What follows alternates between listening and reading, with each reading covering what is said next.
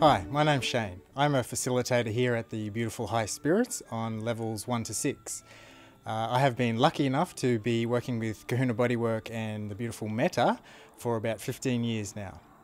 Uh, in that time, I've seen hundreds, maybe thousands of different people come here and learn what I consider to be the best massage technique in the world.